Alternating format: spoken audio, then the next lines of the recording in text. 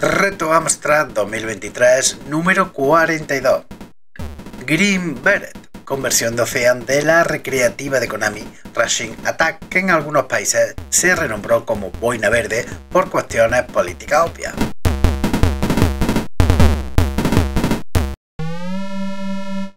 La premisa es sencilla, como nos indica el nombre original del título de los salones recreativos, que hace un juego de palabras para sonar parecido a ataque ruso.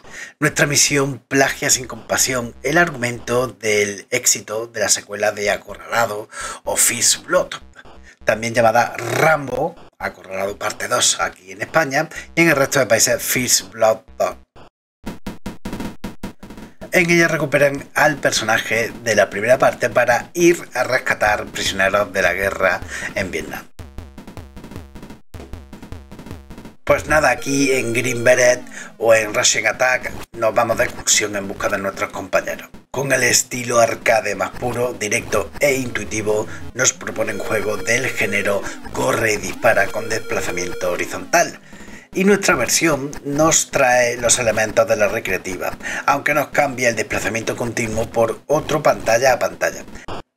Algo que nos va a colocar un poco al principio, pero que no afecta demasiado a la jugabilidad. Jugar a este título es sencillo, pero no está exento de tener cierta pericia. Asimilar ciertas mecánicas es fundamental para avanzar y sobre todo para disfrutar de esta notable adaptación a la recreativa, y es que está bastante bien. El manejo de nuestro ejército de un solo hombre, armado con solamente un machete, seguramente hecho en Albacete, y mucha voluntad navajera, es la de avanzar hacia la derecha. Ese es nuestro objetivo, no os despistéis, no os volváis locos intentando eliminar a todos los enemigos en pantalla, ni tengáis avaricia por los puntos. Solamente tenemos que avanzar hacia la derecha, así que no os despistéis demasiado en ese objetivo.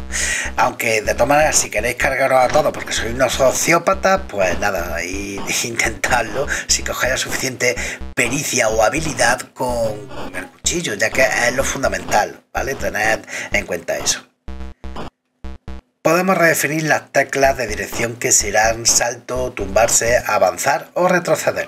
Algo que notaremos es que la cadencia del uso del machete de combate es limitado, así que usadlo a ritmo, no a discreción, que era como se podía usar en el arcade.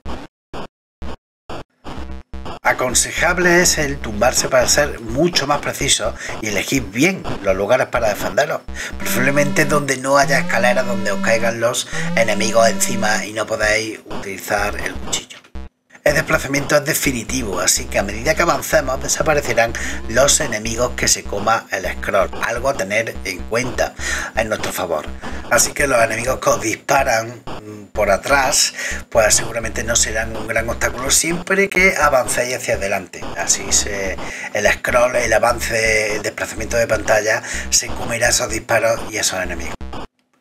Los soldados que van vestidos de azul sueltan armas. Pueden ser bazocas, lanzallamas o otro tipo de armas. La cuestión es que si las cogéis os darán tres disparos. Aprovechadlos y usadlos bien. No hace falta que los guardéis para una parte más complicada, sino ir usándolos a discreción para avanzar de forma más cómoda. Así que hasta que no cojáis habilidad, pues nada, a, soltar bazocazos a la gente. Bazooka, ¿no? Sí, sí, bazooka.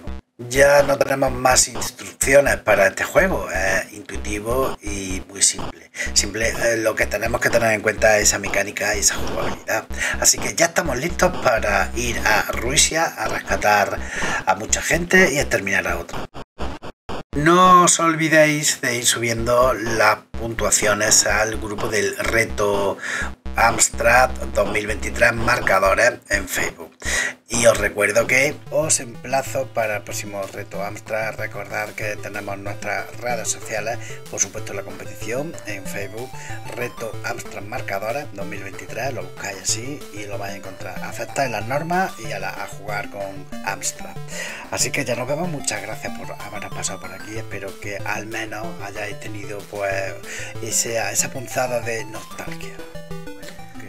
Nos vemos en el próximo reto. Adiós, queridos. Adiós.